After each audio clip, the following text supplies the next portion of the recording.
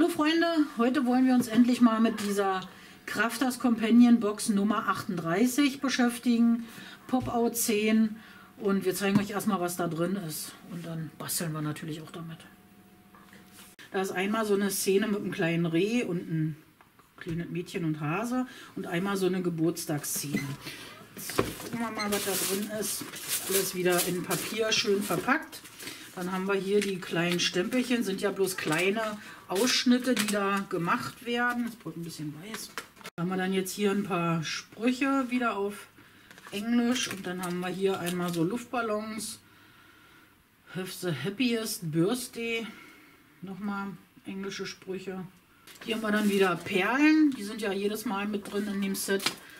Diese selbstklebenden Perlchen. Das ist hier dieses Mal das Wichtige an dem Set. Na, das sieht ja jetzt komisch aus, wenn ich das Alter. Das ist jetzt hier diese Geburtstagsszene. Deine Fantasie hätte man jetzt lesen. Echt, da war ich jetzt nicht schockiert. Dann haben wir hier die Geburtstagsszene, das sind Luftballons, dafür haben wir die Stempel da, die Luftballons. Und dann diese Szene hier, das finde ich für mich persönlich ganz schön, das werden wir dann auch basteln. Mit diesem Reh und das ist keine, kein kleines Mädchen, das ist eine Elfe, soll das sein. Und Häschen und Schmetterlinge. Das ist dann das Set, was wir basteln werden. Hier haben wir dann passend zu den Perlen die Schleifenbänder, die da auch immer mit drin sind im Set.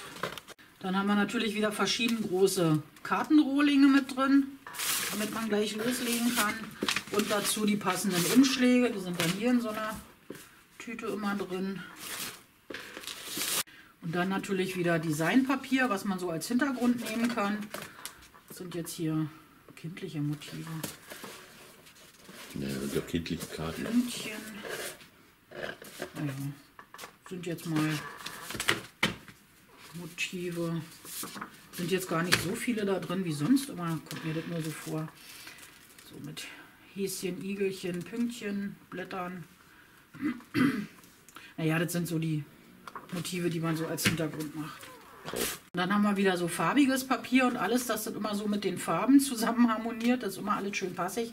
Diese Papiere ja hier auch. Und bei den äh, einfarbigen Papieren ist mir so aufgefallen, die sind mal ein bisschen kräftiger und mal ein bisschen dünner. Das sind jetzt hier wieder ganz kräftige Papiere in verschiedenen Farbtönen. Können wir schön loslegen, wird also das nächste Projekt. Ich habe mir dann jetzt zum Basteln wieder so eine 15 x 15 Karte ausgesucht, weil ich das eigentlich immer ein schönes Maß finde. Und da möchte ich dann jetzt mein, das soll ja auch wieder so eine Art Pop-Up-Karte werden. Ja, Pop-Out-Szene heißt es ja auch. Dafür brauchen wir jetzt ein Papier, was wir da noch reinkleben können, was dann aufpoppt. Das schneide ich mir jetzt dann so breit zu, wie die Karte ist, damit ich das dann nachher gut reinkleben kann. Das sind 15,2 cm und ich nehme einfach ein so ein A4-Blatt und dann hat es die Größe, die ich brauche. Das Teil falte ich jetzt einfach mal in der Mitte.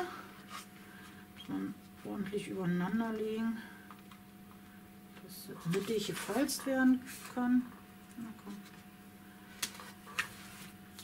Falzen. Und jetzt werden die beiden äußeren Seiten hier nochmal gefalzt zur Mitte hin, damit wir dieses Pop-Up-Teil kriegen, was dann nachher in der Karte hochpoppt. Die andere Seite auch nochmal bis zur Mitte falzen. Nehmen vielleicht nicht ganz so ein dickes Papier, wie ich jetzt hier habe. Das sind jetzt auch wieder, glaube 250 Gramm oder so. Ich habe jetzt aber nichts kleineres, also nichts dünneres. So, dann haben wir unsere Szene. Das ist nachher das Teil, was dann so aufpoppt in der Karte, wenn man die Karte aufmacht. Da setze ich mir dann jetzt mittig das Motiv rein, was ich ausstanzen möchte. Ich habe mir das ausgesucht mit dem Reh und dieser Elfe. Das müssen wir jetzt erstmal ausstanzen. Ich schiebe das einfach mal durch meine große Gemini. Man kann auch, das geht auch mit der kleinen, aber ich habe nur mal die große. So, durchschieben.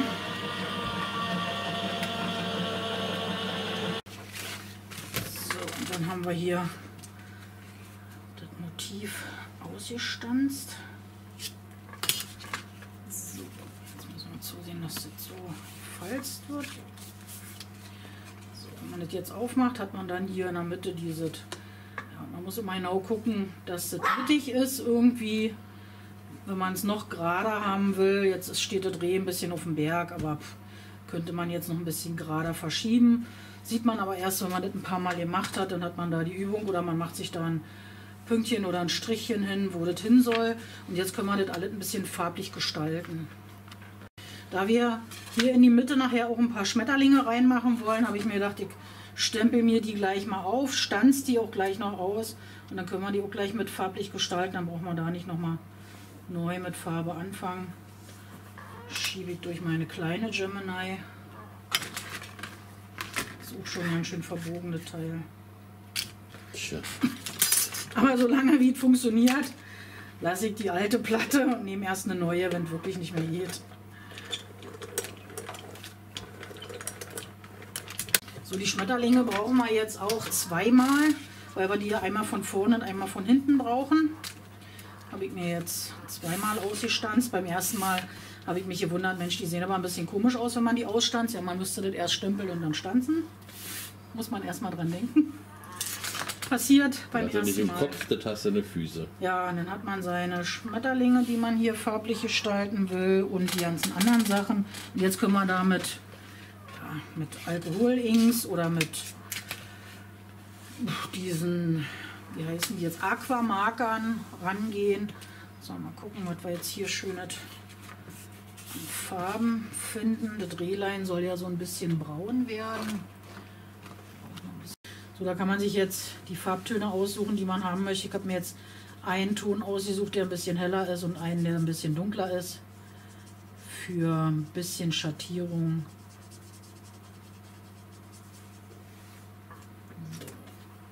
Und dann außenrum nochmal ein bisschen was dunkleres. Also wer das richtig schattieren kann, ist natürlich auch klar ein Vorteil. Dann sieht das Ganze noch ein bisschen schöner aus. Ich male es halt einfach ein bisschen aus. Und dann haben wir da ein braune Drehlein. Kriegt dann noch ein Auge. Also in jeder Packung ist, glaube ich, schwarz drin. Schwarz habe ich jetzt hier mittlerweile drei schon angehäuft. Ein kleines Auge. Naja, ein bisschen die Nase. Ja, mit viel ähm, Fantasie. Fantasie denkt man, das ist ein Rehchen. So, dann haben wir ja noch die Elfe und die Zwölfe. So, da brauchen wir eine Hautfarbe. Da machen wir jetzt hier einfach ein bisschen den Kopf, also das Gesicht ein bisschen in Hautfarbe. Die Ärmchen. Bisschen Hals hier noch. Ärmchen und Händchen. Und hier unten die Füßchen. Die bekommt jetzt von mir auch einfach braune Haare. Nicht wundern, ich mache die einfach braun, weil das auf dem Bild da auch braun ist. Ich Aber eine Elfe hat blonde Haare. Ah, die Ami-Elfen, die haben irgendwie braune Haare. Ich weiß auch nicht, die haben immer irgendwie. Die Meerjungfrau hat rote Haare. Ami-Elfen, die haben braune Haare. Na, Amis wissen ja auch nicht, wie es lang geht. So, braune Haare. Kriegt sie auch wieder ein Auge verpasst. Die soll auch ein bisschen was gucken können. Dann nur ein ganz kleines. Kleinen Mund oder? In braun, in schwarz. Ah ja, so kleinen Mund da so ran. Das Kleidchen machen wir in pink. Pinkes Kleidchen. Die Farben kann man ja anpassen, wie man das gerade haben möchte. Das ist ja alles immer bloß so. Die erste Karte, die man so bastelt, probiert man sich sowieso ein bisschen hin. Muss man sich erstmal was rausgucken was so geht. Wenn man jetzt manche, Stellen ein bisschen öfter malt, dann werden die auch von alleine dunkler. So. Und die Flügel, gelb, dunkles Gelb.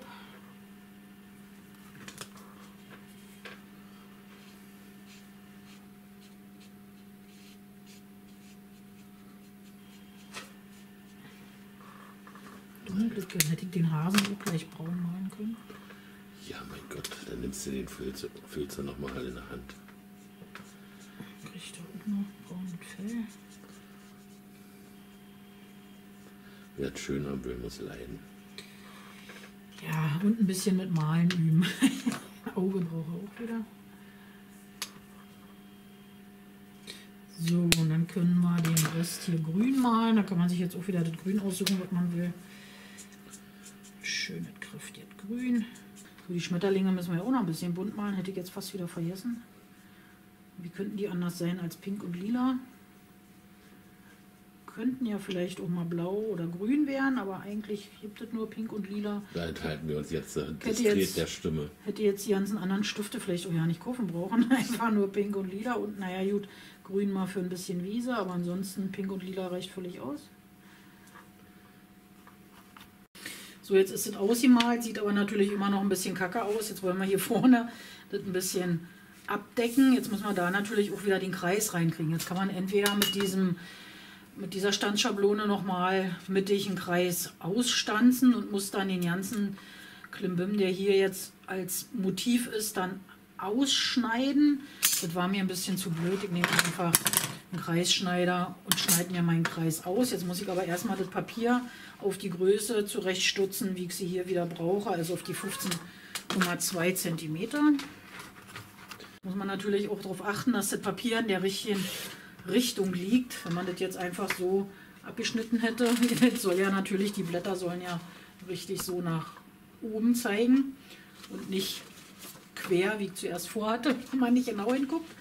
So, jetzt können wir das einfach auch wieder mittig falzen. Mittig nach außen falzen, weil wir das ja da mittig draufkleben wollen.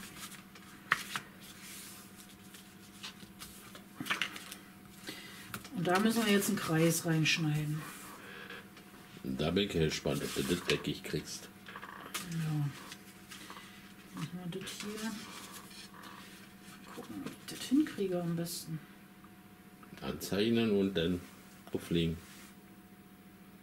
Man kann es ja auch von der anderen Seite schneiden, ja, hast du recht. Frag Anschneiden. mich. Ja, ja, manchmal steht man auf dem Schlauch. Man kann es ja hier anzeichnen. Reicht ja eigentlich eh eine Stelle.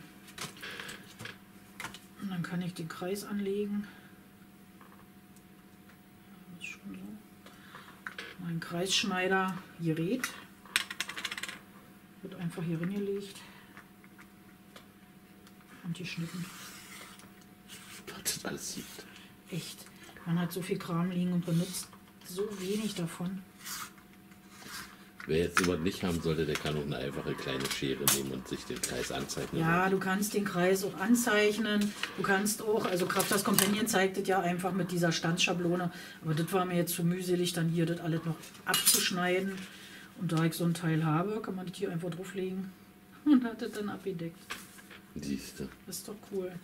Jetzt muss das hier natürlich auch noch wieder gefalzt werden, wo das hier, also dieser Teil hier geknickt wird.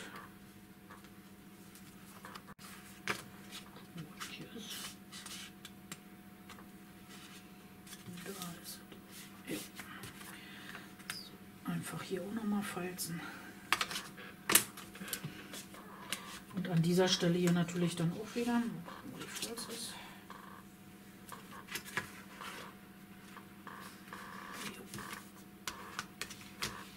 Also der Stuhl wird langsam nervig.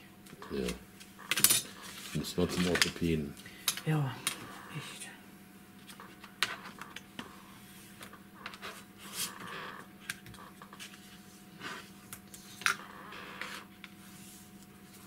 So.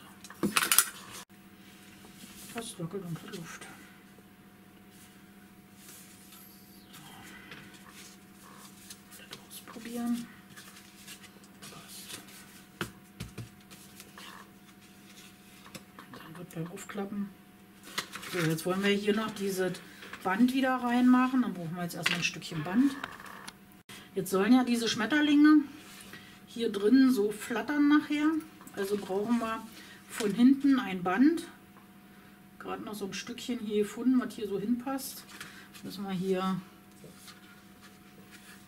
Klebestreifen hinmachen.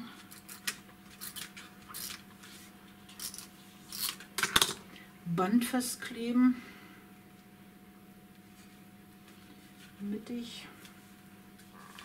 Da am besten ein kleines Stückchen Papier drüber kleben. So ein kleines Stückchen, nur damit das Klebeband jetzt nicht nachher die Karte dann verklebt, sondern dass das wieder abgedeckt ist jetzt.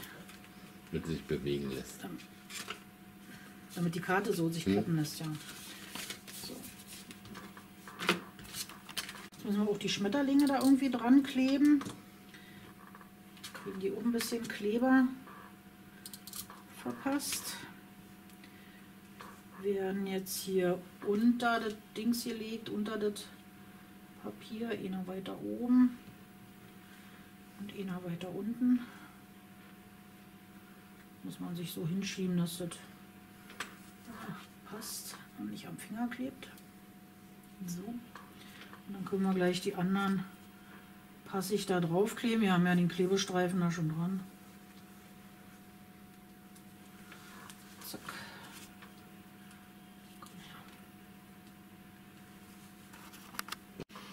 Den anderen hier drauf, dass das sich verdeckt. Ah, dass sich das verdeckt.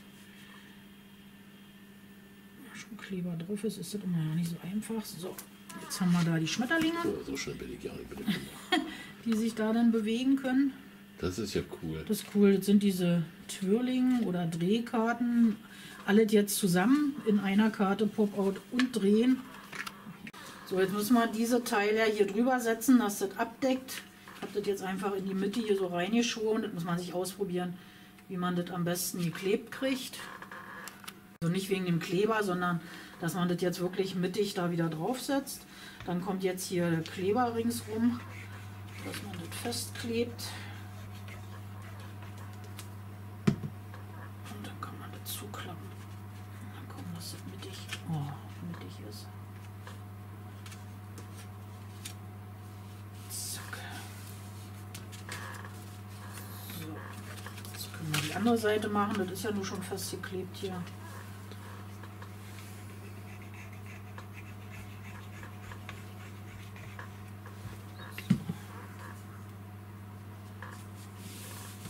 Und jetzt auch noch diese Teil. Das muss ja damit an die Karte hier an Wand mit hin.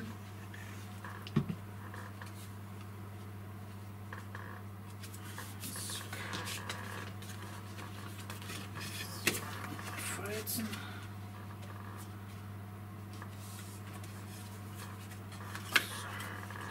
Und hier natürlich auch wieder ankleben. Und dann haben wir das Mittelstück eigentlich schon Fertig. so gut wie fertig. Ja. So, jetzt kann man sich überlegen, ob man das einfach so in die Karte einkleben will und da hinten eben das Weiß hat. Möchte ich aber nicht. Ich möchte diese gepunktete dahinter haben, dass das ein bisschen anders aussieht als die weiße Karte. Muss ich mir jetzt also auch wieder auf 15,2 zuschneiden, wie die Karte eben breit ist, dann, dass wir das da einfach hinterkleben können. Und die Länge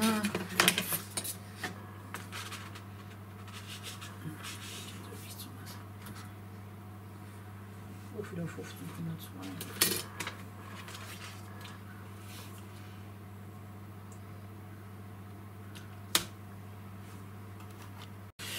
So, die Länge muss jetzt hier auch 15,2. Dann haben wir nämlich von, von der Seite zu der Seite das abgedeckt. Jetzt kleben wir das hier einfach auch wieder mittig rein. Mal eben knicken. Also eben mal falten in der Mitte. Dass das hier reinpasst. Und das können wir dann hier gleich festkleben. Ja.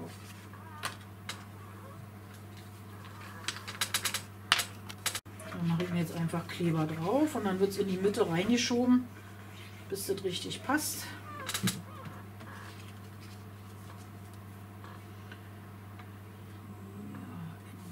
Und wenn man die Falz nicht sieht, ist ja auch doof.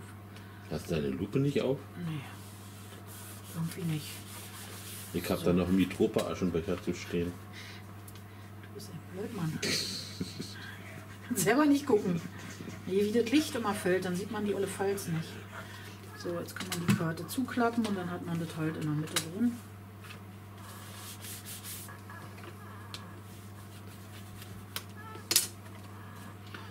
Und jetzt kann man das hier draufsetzen. So, dafür müssen wir sie wieder zusammenknicken, die Karte.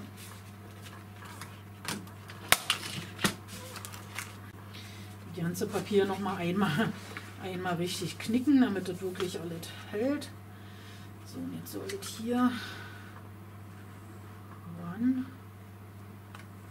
Und eigentlich bis zum Rand hinten. Eigentlich hier bis zum, naja, da reicht, reicht das aber nicht. Das ja ein bisschen so offen stehen haben nachher, dass das nicht ganz aufgeklappt ist. Das soll ja so ein bisschen stehen. Meinst du? Ja, Du musst du dir dann Zeichen machen und da festkleben. so. Das ist so nachher. Aber so, dass die Karte hier noch, dass das drin ist in der Karte und nicht Ja. rauslugt. Ja, Und wenn du dann aufmachst, dass du dann den Hintergrund da hast. ja. So, jetzt erstmal festkleben. So, jetzt mache ich hier wieder Kleber dran. Geht natürlich auch mit doppelseitigem Klebeband. Und jetzt muss ich mir das hinlegen. Dass das hier ungefähr so 2-3 cm weg ist vom Rand.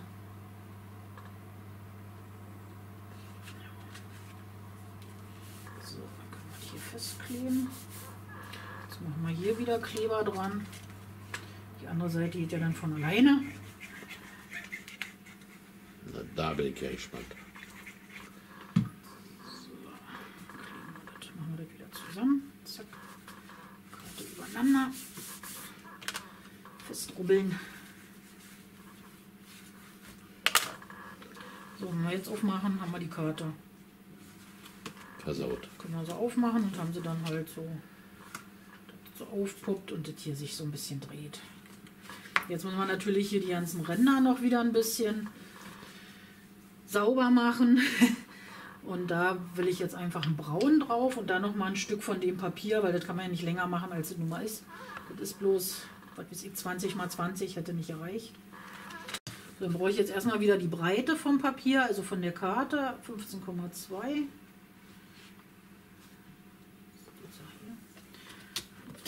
2. Und dann müssen die Streifen 8 cm breit sein. Bei mir, so wie ich das jetzt hier aufgeklebt habe, das müsst ihr bei euch dann immer nachmessen, ob das so hinhaut mit den Zentimetern.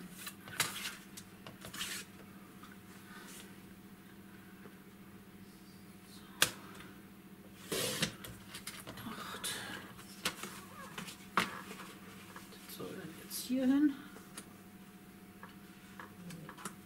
Auf die Seite. Und jetzt machen wir noch mal von dem grünen Papier, also von diesem, dass das hier noch mal drauf kommt. Müssen wir jetzt auch wieder auf 15,2. Mensch, ist das, kann das vom Weiten ja nicht mehr langsam sehen. So, 15,2 ist nur man langsam blind wird. So, jetzt haben wir hier 8. Ne, das könnte ja ruhig ein bisschen kleiner sein. 15,2, dann nehme ich 14,2. 14,2, das kann ruhig ein schöner brauner Rand werden.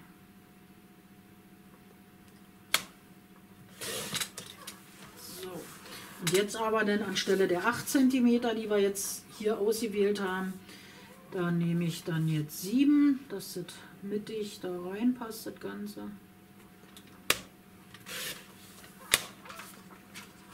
Dann hat man hier, muss hier richtig am Schluss ran. Ach so, hast du das? Und das dann hier nochmal so als Auflieger so. Jo. so. Und da kannst du dann deine Sprüche drauf schreiben. Genau, da so. kann man dann so einen drauf machen. Jetzt brauche ich den hier auch nochmal in 7 cm.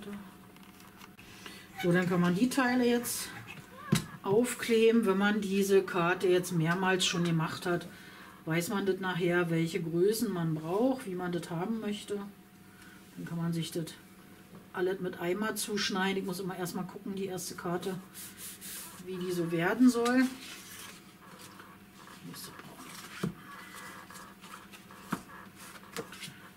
So, braun zuerst.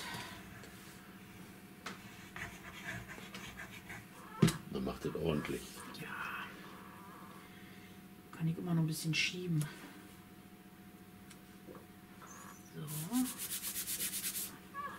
Müssen wir das natürlich auch wieder gerade richtig rum hinlegen, dass man die Blätter jetzt auch wieder in der richtigen Position hat, nach oben guckend und nicht nach unten. Wäre jetzt auch blöd, wenn wir jetzt die Blätter ganz zum Schluss falsch rum drauf kleben. So, das muss jetzt hier ein bisschen mittig.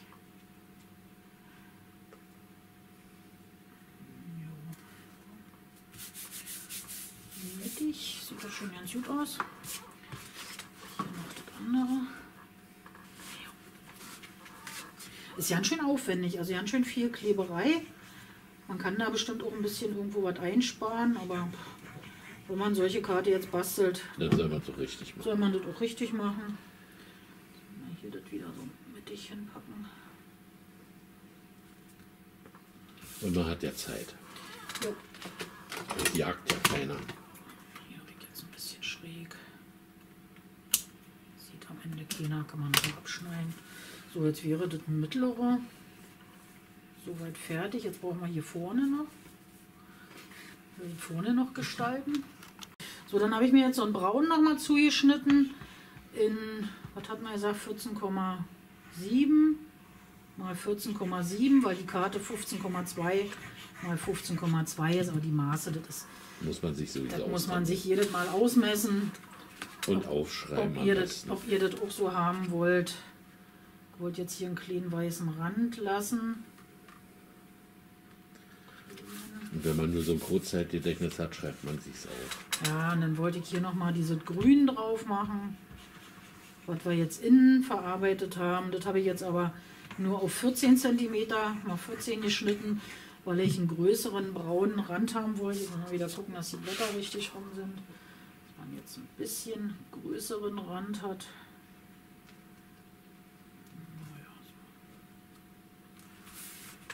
Das ist doch perfekt.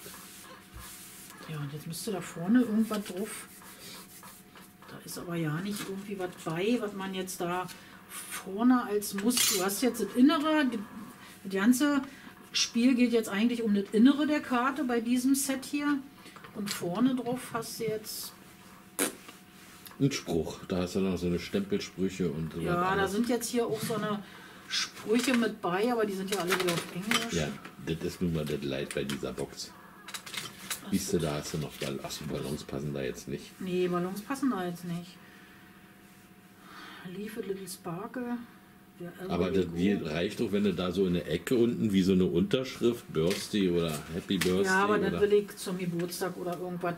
Dann nimm doch einen deutschen Ja, Stempel, ich wenn das dir Deutsch, genau. mit den modernen Stempeln nicht so gefällt. Alles Gute zum Geburtstag hier vorne. Genau, und das unten in der Ecke und das reicht vollkommen aus. Und zur Not kannst du dir noch ein bisschen beglitzern. Du das jetzt wieder beglitzern? Mit Da hast du da nicht so ein Puder, so ein. Embossing-Puder, Pulver? Jetzt haben wir das Problem, ich hätte das erst stempeln und dann aufkleben sollen. Durch die ganzen Lagen Papier, die wir jetzt da haben. Man hätte ja auch jetzt so was Dimensionale drauf machen können. Hätte man jetzt auch machen können. Man kann das auch ein bisschen mit Schwarz noch malen. Na sicher. Jetzt immer so ein Versuch macht klug, aber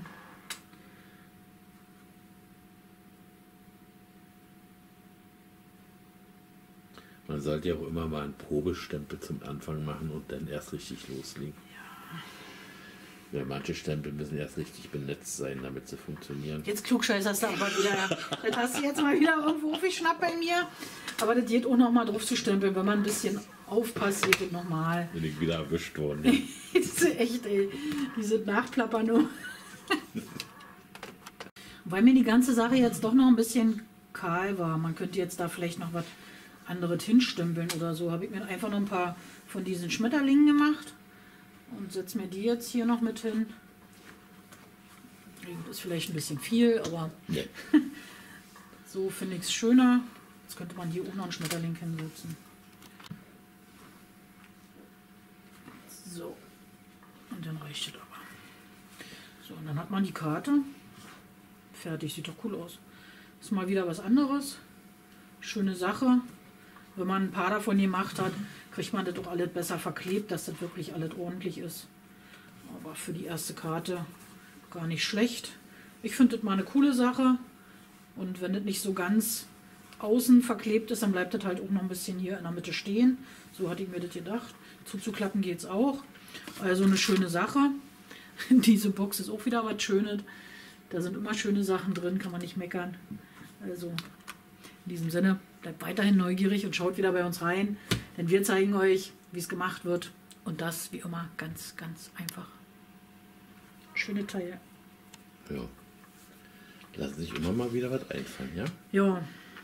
Und man kann das auch als hier auf den Boxen ist ja auch drauf, du kannst es einfach auch hier vorne ausstanzen und vorne drauf kleben und dann eben so eine Klappkarte machen. Das geht auch zu machen. Also man muss das nicht so machen. Und würdest du dich nicht freuen, wenn dir die Leute zeigen würden, wie das? Ach, eins wieder vergessen, genau. Auf meiner Facebook-Seite, wenn ihr euch diese Box zulegen solltet, postet mir doch einfach mal, was ihr da für Karten draus gestaltet habt. Würde mich freuen, immer mal zu sehen, was ihr da so macht. Ist immer mal interessant. Um Ideen zu klauen. Verratet doch nicht.